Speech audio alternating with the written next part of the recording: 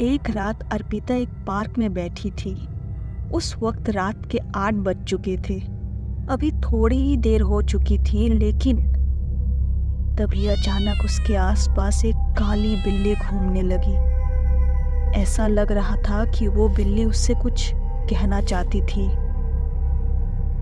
इसलिए अर्पिता ने उस बिल्ली का पीछा किया। उसके बाद वो बिल्ली अर्पिता को एक हवेली के पास लेकर गई। वो हवेली बहुत ही ज़्यादा पुरानी लग रही थी। उसके बाद अर्पिता ने अपने आसपास देखा तो वो बिल्ली कहीं गायब हो गई थी। अब वो कुछ सोचने ही वाली थी, लेकिन तभी अचानक उसे किसी औरत के रोने की आवाज़ आई। वो सुनकर अर्पिता सोचने लग गई, मुझे इस हवेली के अंदर नहीं जाना चाहिए। अगर कोई भूत हुआ तो मुझे बाहर से ही देखना पड़ेगा। आई थिंक खिड़की से। उसके बाद अर्पिता उस आवाज़ का पीछा करने लग गई और देखा तो एक कमरे से वो आवाज़ आ रही थी। उसके बाद अर्पिता ने खिड़की से देखा तो एक लड़की बेड पर बैठ के रो रही थी। उसे देखकर अर्पिता ने कहा कौन कौन हो तुम? इस पर उस लड़की ने कहा, आज यहाँ कोई नहीं आया। सब डर के भाग रहे थे, लेकिन तुम आ गए हो। अर्पिता ने कहा, लेकिन आप हो कौन? उस लड़की ने कहा, मैं एक डायन हूँ। ये सुनकर अर्पिता डर गई, लेकिन उस डायन ने कहा, डरो मत। मुझे बस तुम इस कमरे से बाहर निकालो।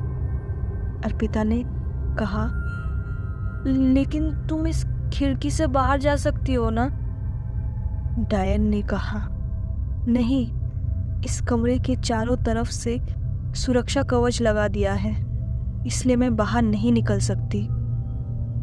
अगर तुम मदद करोगी तो मैं बाहर जा सकूँगी। अगर तुमने मुझे बाहर निकाला तो मैं ज़िंदगी भर तुम्हारी गुलाम बन जाऊँगी। अर्पिता ने कहा, मुझे तुम पर भरोसा नहीं है। ऐसा कहकर वो वहाँ से चली गई। उसके बाद अर्पिता अपने घर चली गई। घर जाकर उसने वो सारी बातें अपनी माँ को बता दी। ये बातें सुनकर माँ ने कहा, नालायक लड़की, तुमने उस डायन की मदद क्यों नहीं की?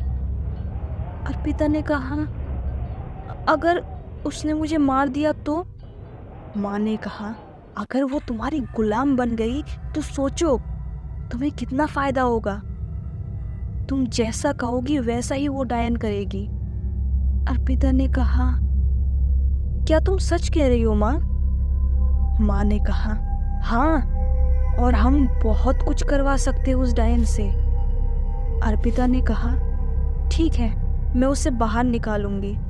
लेकिन अगर वो पलट गई तो माँ ने कहा तो तुम किसी भी तरह से उसके बाल काट लेना। अर्पिता ने कहा, लेकिन ऐसा क्यों? माँ ने कहा, डायन को अपने बाल बहुत प्यारे होते हैं, क्योंकि उसकी ज़्यादा शक्तियाँ उसके बालों में ही होती है। इसलिए किसी भी तरह से तुमने उसके बाल काट दिए तो फिर वो तुम्हें कुछ नहीं कर पाएगी।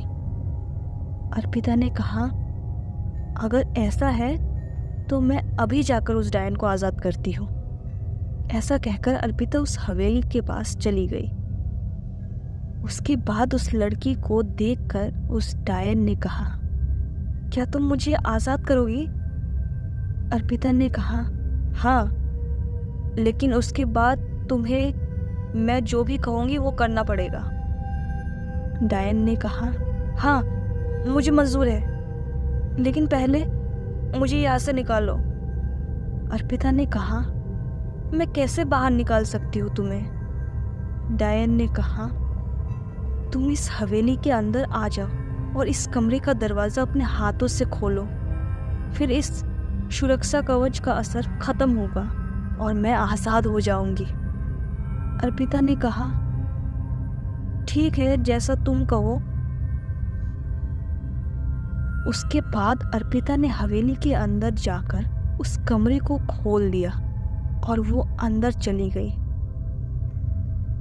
उसके बाद वो डायन अपने असली रूप में आ गई और वो बहुत खुश हो गई। उसके बाद अर्पिता ने कहा, अब मैंने तुम्हें आज़ाद किया है तो तुम अब वही करोगी जो मैं कहूँगी। डायन ने कहा भूल जाओ। अर्पिता ने कहा, लेकिन मैंने तुम्हारी हेल्प की और तुमने भी मुझे कहा था कि तुम मेरे गुलाम बन जाओगी। डायन ने कहा, वो मैंने झूठ बोला था। अर्पिता ने कहा, देखो, अगर तुमने मेरी बात नहीं सुनी तो मैं तुम्हारी बाल काट दूँगी और तुम कमज़ोर हो जाओगी।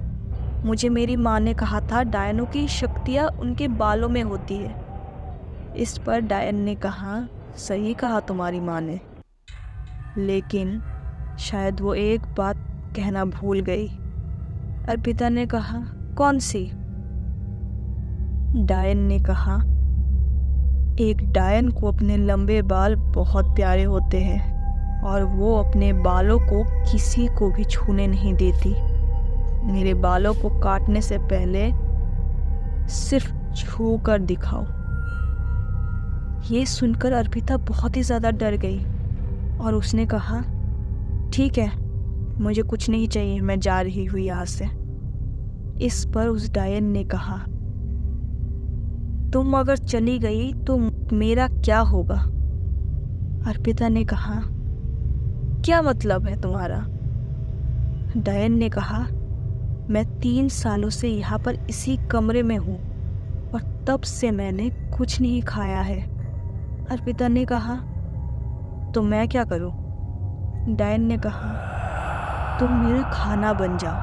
अर्पिता ने कहा, देखो, मैंने तुम्हें बाहर निकाला था और तुम मुझे ही मारोगी। डायन ने कहा हाँ मुझे भूख लग रही है। अब तुम्हें मरना ही होगा।